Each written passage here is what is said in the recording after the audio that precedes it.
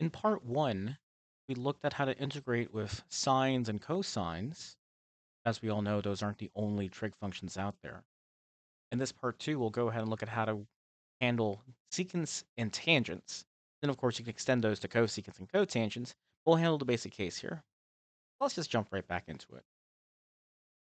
So we have an innocent looking integrand here, just integrating tangent squared x, and you might be tempted to just write this in terms of sines and cosines, right?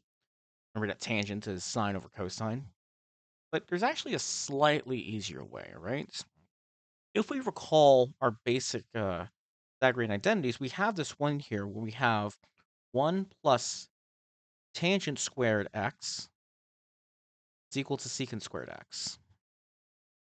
Okay, I can shuffle some things around, right? So we get tangent squared equals secant squared minus 1. But how does that help us? You might be asking yourself. Well, recall also, okay, this is one thing that we should recall. But the other thing we need to recall is that the derivative with respect to x of tangent of x is equal to secant squared of x. And as we all know, integration and differentiation are just inverse processes of each other. So knowing the derivative of tangent gives me the antiderivative of secant. And so we're just going to go ahead and replace here. So just like before, we follow our highlights, okay? Except now I'm replacing tangent squared. That's a terrible integral sign.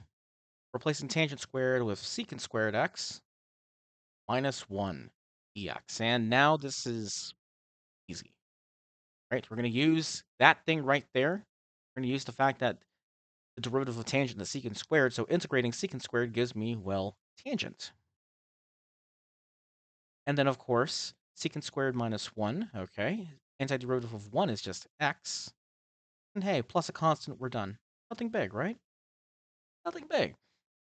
Now, there are se several other ways you can attack this integral, but this is probably the more straightforward one, right? Tangent squared is just secant squared minus 1. We make the trade, and now it's in terms of things that we know.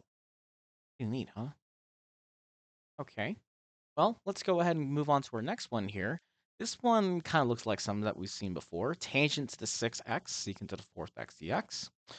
And we got to remember a few other things, right? Okay, we know that the derivative of tangent is secant squared. We know that secant squared minus 1, as we saw above, is tangent squared. But how does this help us? Well, remember for with sines and cosines, as we saw in part one, you want to peel away one at a time. This time you want to peel two. Okay. Now, both tangent and secant have even powers here. Okay. With sines and cosines, you want to peel from an odd power. But for secants and tangents, you want to peel from even powers. Okay. You want to do this in pairs. Well, there are many other ways to do this, but let's go ahead and take this approach here, again, we'll recall that 1 plus tangent squared of x is equal to secant squared x. Okay. And what I'm going to do is I'm going to go ahead and take the secant to the fourth here. Okay, and I'm going to write it as secant squared squared. Let's go ahead and actually write, write ourselves a little note here, okay? Note that in fact, if I take anything to the fourth power, that's the same thing as taking the second power of that thing and squaring it. Okay, so u to the fourth is equal to the square of u squared. So what we'll do is just do a little rewrite here. I'm still going to keep my six tangents here. Secant to the fourth will become secant squared times secant squared x. Okay. And now what I'm going to do is I'm going to replace the secant squared, okay, just like we did above, okay, or something similar to what we did in the above, okay. I'm going to use this here to rewrite this one. I'm going to take one of those secant squares and write it as 1 plus tangent squared. You'll see why. So I still have those six tangents out front. That secant squared will become 1 plus tangent squared. And then I still have secant squared left over on the right, dx. Now, why is this helpful? Well, think about the thing that we wrote up above, right? That the derivative of tangent is secant squared. Well, I have some tangents there, and I got a secant squared there, so that suggests a u substitution. Okay, do this in this color here. We're going to let u equal tangent x. So du is equal to secant square x dx, and well, this just works out beautifully, right? Once again, follow the highlight. Okay, u is tangent x, and then du, let's do that in magenta. du is there, secant square x dx, okay? So now let's follow our path. Okay, those six tangents out the front become u to the sixth. On the inside is 1 plus u squared. Then secant square x dx, well, that's just du, right? And now look what you got here. Just like the other cases that we did with the sines and cosines, it's just the power rule. Let's multiply out, right? u to the 6 plus u to the 8. And of course, we just used the power rule, so write it like this. 1 over 7 u to the 7th plus 1 over 9 u to the 9th. That's just a power rule, right? Add 1 to the exponent, divide by the new exponents. And don't forget plus a constant. And now we just go ahead and put everything back, right? u was a tangent, okay? So we write this as tangent 7th x. Then ninth of a tangent to the ninth x plus a constant. And folks, that's how you handle that. Not too bad, right? Okay, again, the idea was I wanted to trade two secants for a 1 plus tangent square that allows me to go ahead and set up for a u substitution. Okay, we are finding a way to look a few moves ahead. Okay, try to read into that position. Okay, try to calculate out what you would probably need to do next. Remember, with u substitution, you want, you want a function and its derivative appearing somewhere in the integrand. Okay, very nice, right? Now, this one does look a little scarier. Okay, let's look at it. x times tangent to the fifth, x squared, secant cubed x squared dx. There is a lot going on here, right? And you know, you might see the X in front and think, well, maybe I can use integration by parts. Okay, but that doesn't really help you out here.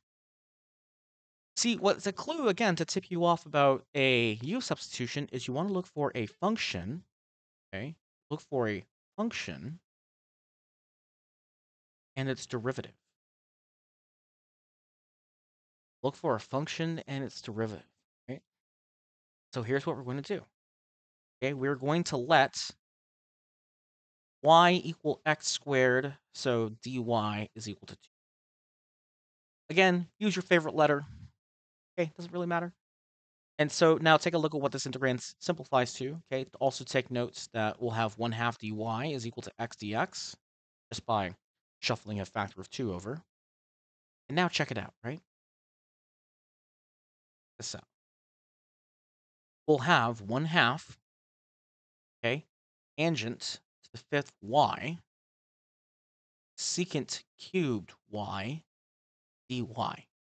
Now it looks like an integral that we can handle. Okay, we just reduce this by using a u substitution. Okay, a priming substitution. Okay? Well, note here that both the powers of tangent and secant are odd. And so, if they're both odd, I want to peel away one from each because we're going to be using this fact here. Okay, just like we have to remember the derivative of tangent, we also need to remember the derivative of secant. Okay, found in your favorite Calculus 1 reference, or just use the quotient rule, because you can write that as 1 over cosine, right? All right. And the derivative of secant is, well, secant of x times tangent of x. Okay, now, of course, remember the fun fact here that if you took the derivative of cosecant instead, it's cosecant cotangent, but that's all multiplied by a minus 1. Okay, co-functions have derivatives that look similar to your regular cousins, but with a minus sign. Okay, so the derivative of secant is secant times tangent. Why does that help us? Because take a look at what happens. Okay, when I do the peeling here, that's an awful integral sign. When I do the peeling here, I'll uh, do this here. I'll peel away one tangent, one secant, and then I'll have secant y, tangent y, dy. And take a look at what appears, right? Secant y, tangent y appears. But I'm not quite set up for my u substitution because I need the rest of the integrand to be all in secant. Well, why don't we just use the identity that we used before, right? Okay. We know, let's go back here, okay. We know that 1 plus tangent squared is secant squared. Okay. So we're going to employ a similar trick here, okay, like we did in a, one of those other problems. I'm going to write that tangent to the fourth as tangent squared squared. Okay. So we have tangent squared of y squared times secant squared y, then secant y tangent y dy. And now we're going to use the fact again that tangent squared is secant squared y minus 1. Beautiful. Now you see where it's all coming from, right? Let's take a look here. So we have 1 half this integral. I am not doing very good with my integral signs tonight. Oh boy. All right. Tangent squared y, that's just going to be secant squared y minus 1. We're going to square that. Okay, now we have secant squared y, secant y, tangent y, dy. You can probably see the substitution now, right? Uh, let's use orange, say. Okay, Roadrunner orange. u equals secant y. du is equal to secant y, tangent y, y, right? You see where that's coming from, right? Secant y, tangent y, dy. Okay. And the rest is just going to be some u's, right? All right, we're going to get a lot here. Okay, I hope I have enough room. Okay, nope, don't want that. So, we have 1 half the integral of u squared minus 1 squared times u squared. And the rest is du. That's another power rule thing, right? Go ahead and expand the square as usual, okay? Let's write a little note here to ourselves, okay? a minus b squared. We need to remember this one, okay? a squared minus 2ab plus b squared. No calculus required here. That's just an algebra thing, right? Okay. A lot of this, okay, was manipulating it with the algebra, doing a bit of calculus to massage the integrand, and we're going to continue massaging this until we get something that we can work with. Now take a look at what's happening here, right? Okay, half the integral of, all right, u to the fourth minus 2u squared plus 1 times u squared. Now we multiply through, do some more algebra steps, right? Half the integral of, let's see, u to the sixth minus 2u to the fourth, then plus u squared. And folks, it's still, again, the power rule, okay? That's going to be the punchline for a lot of these. All right, u to the seventh over 7, okay? 2 fifths u to the fifth plus plus one third u cubed plus a constant. And now I'm just going to go ahead and multiply through, replace back with u. Actually, let's be a little more clever, right? u was something in terms of y, and y was something in terms of x. Ah. So we could have killed this immediately by saying u equals secant of x squared, okay? From this chain here, okay, take a look here. All right, we have y equals x squared, u equals secant of y. Remember that when we compose, that means u is actually equal to secant of x squared. We can go ahead and just replace back. Now, you can unnest this one step at a time if you need to see that, okay? But take a look at what we got here. Multiplying through. Half of 1 over 7 is 1 over 14. u to the 7th is secant to the 7th power of x squared. I'm going to put the parentheses there to make it a little friendlier. Minus a half times 2 fifths, that's a fifth. Secant to the fifth power of x squared. Then plus half times a third is a sixth. And then we have secant cubed of x squared plus a constant. A beautiful result. A beautiful result. Whatever it is. what does it all come down to? The power rule, okay? So the punchline here, okay? Here, I should have wrote it down here. Because we have odd powers, I have an odd number of secants and tangents, heal one of each. Because then I'm going to use that fact there, that the derivative of secant is secant times tangent. You want to have an extra secant lying around there when you make the substitution.